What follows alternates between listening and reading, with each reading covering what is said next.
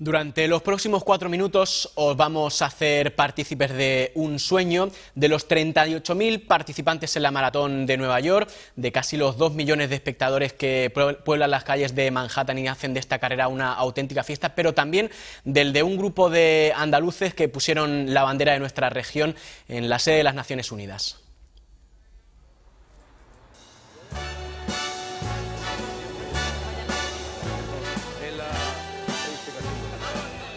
Muchísima gente, muchísimos andaluces, muy bien, todo muy bien organizado y, la Junta ha traído un despliegue importante. Yo creo que es una oportunidad más de hacer promoción de, de las pruebas andaluzas en un ambiente tan, tan, bueno, tan propicio como este. Es una gran fiesta para el deporte y por estar en las Naciones Unidas una gran fiesta para el mundo. Vamos representando a Andalucía, vamos representando a España y esto para nosotros es algo maravilloso. Con Nueva York para que se vea el arte andaluz. ¡Claro! ¡Olé!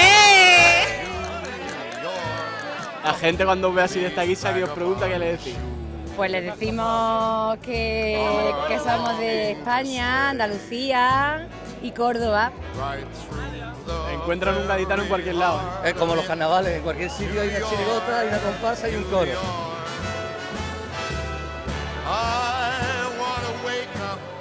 Hemos visto en la, en la carrera de la amistad que la presencia de Andalucía, gracias un poco también al, trabajo que habéis hecho vosotros en, Canal Sur, la presencia de Andalucía en la carrera de amistad ha sido muy, muy significativa, ¿no? O sea, hemos, hemos conseguido que hubiera banderas andaluzas de mayor tamaño que la del resto de los países en la, en la línea de salida.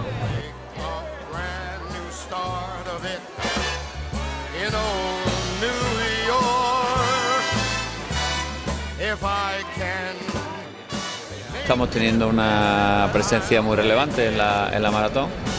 Eh, aquí, ahora mismo en esta zona expo por la que están pasando los, o lo, han pasado a lo largo del fin de semana los 40.000 corredores y sus acompañantes, con lo cual el, nivel de turismo deportivo especializado que, que pasa y que en el fondo nuestro objetivo está es muy, muy, muy elevado y muy específica y bastante, bastante interesante para nosotros. El ruido que hace Andalucía aquí en Nueva York ahora con, motivo de la maratón es bastante, bastante grande.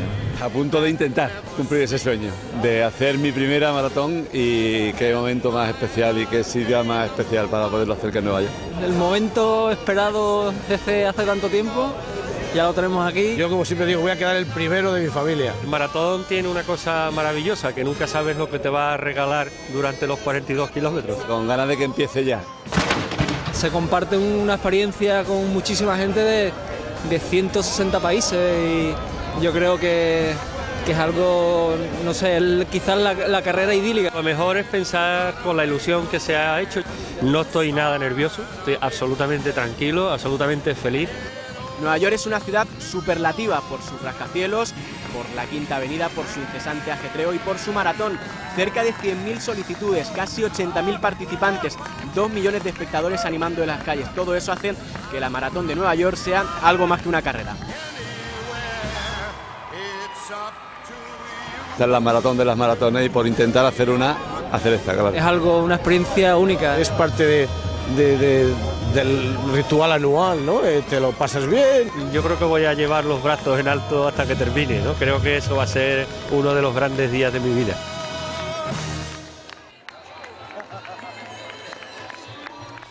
Bueno, pues un aplauso muy grande para José Carlos, para Javi, para Carlos, para Paco porque ellos tienen muchísimo mérito.